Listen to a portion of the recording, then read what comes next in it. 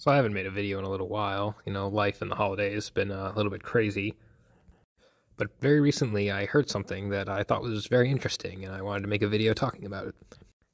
As the COVID restrictions are starting to ease around the world, the conversation can now be had honestly, whereas it really couldn't be had at the beginning of the pandemic. People can have an honest conversation about risk calculation, like what risk is acceptable for certain things. Now, any honest person will tell you that life comes with risks, that everyone accepts some kind of risk for pretty much everything they do, because if they didn't, they would be too terrified of anything. They'd have to live in a completely soft room in a straitjacket, basically.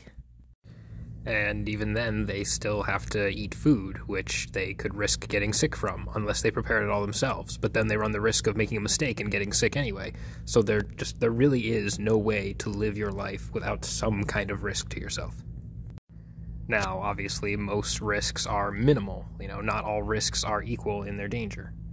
A very easy example is walking down the stairs. Whenever you walk down the stairs, you could slip and fall and hit your head and get hurt or die but 99.999% of the time that people walk downstairs, they don't have any issues.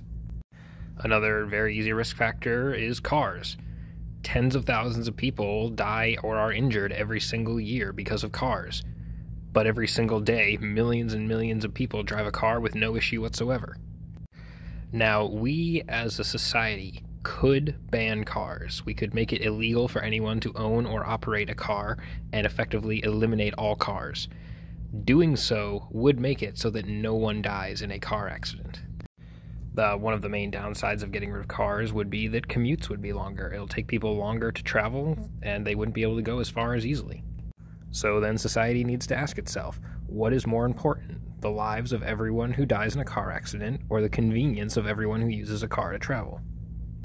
Now, obviously, you are not guaranteed to have a car accident. You can follow the rules and do everything right, and you could have some drunk driver hit you within your first week of driving. And you could also be a very irresponsible driver who doesn't really follow the rules, and you just get lucky and never have an accident in your entire life. There is no guaranteed outcome. However, most people are aware that the risk of dying in a car is so small to the average person that most people are willing to operate and drive in cars every single day. They're still cautious and they're worried about an accident, but not so worried that it prevents them from actually getting in the car. Another quick example is swimming pools. If we ban and get rid of all swimming pools, the number of people that die of drowning will be significantly reduced. And the only real consequence is we'll just have one less leisure or fun activity for most of society. But when we as a society allow people to have swimming pools, we accept the risk that some people are going to drown, and we accept that it is worth the people who are going to drown in exchange for everyone else getting the benefit of being able to have swimming pools. Same goes for planes, same goes for cars. There are many things that meet this qualifier of people will die if we allow it, but the convenience of it is worth that risk. Now, obviously, kind of sounds a little horrible. Obviously, no one is hoping for anyone to die, nobody wants anyone to die. This is more about just an acceptance that if you allow certain freedoms, the consequences of those freedoms could be people's deaths. Which gets me back to the topic for the start of the video the easing of COVID restrictions and the you know post pandemic normal that people are going to get into it's pretty obvious at this point and pretty much indisputable that COVID is not going away. It's going to be endemic, kind of like the flu. It's just going to have highs and lows, waves, new variants, but it's never going away. So now, like many other things, we have to live with the risk of COVID. So we as a society need to determine what risk level is acceptable. One extreme example that I'm not in favor of, but I could see someone making an argument for, is we need to mandate that all people wear hazmat suits at all times in order to reduce the risk of deaths. Now, obviously, that's a bit more extreme than mandating that people be vaccinated or wear a mask, but I would argue that if people wear a hazmat suit, they would be even more protected than with a mask. And if saving lives from COVID is your ultimate goal, there's really no reason you shouldn't mandate everyone to wear a hazmat suit at all times, because it will save lives.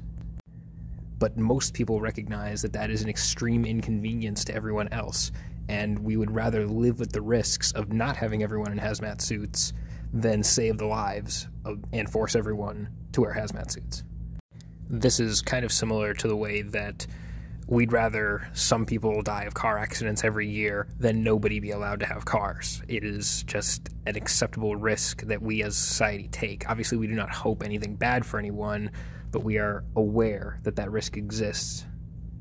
And we decide for ourselves how we are going to mitigate that risk and go about our lives with it as a factor. Now, I don't have a definitive answer for what risk is good and bad to take. Uh, this is more of just kind of a thought provoking idea. Uh, let me know what you think about what risk is acceptable for society in the comments because I, like, I don't think there is a correct answer on this. This all appears to be a bit subjective, so it's going to be different for every person. Anyway, I hope you enjoyed the video and I hope it was thought provoking.